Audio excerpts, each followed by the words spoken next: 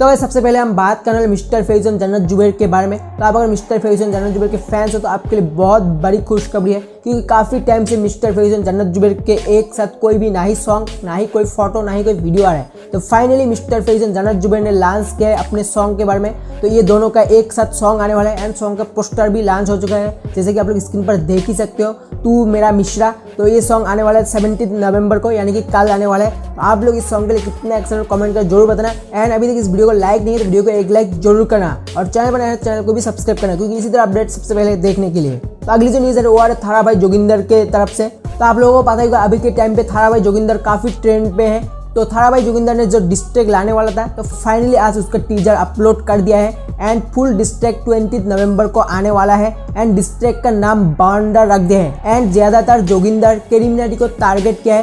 पूरा यूट्यूब संसान बना दूँगा। अरे ओ कैरी मिनाटी क्या बोल रहा था? बवंडर कब आएगा?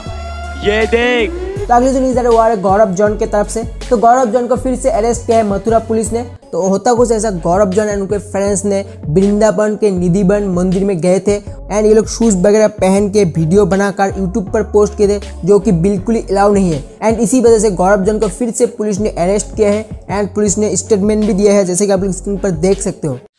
वृंदावन के श्री निधिवन राज में रात के समय कुछ लोगों द्वारा अंदर घुसकर वीडियो बनाया गया था। इस वीडियो बनाने के, बनाने वाले मुख्य अभियुक्त को पुलिस द्वारा गिरफ़्तार किया गया है और आज उसे जेल भेजा जा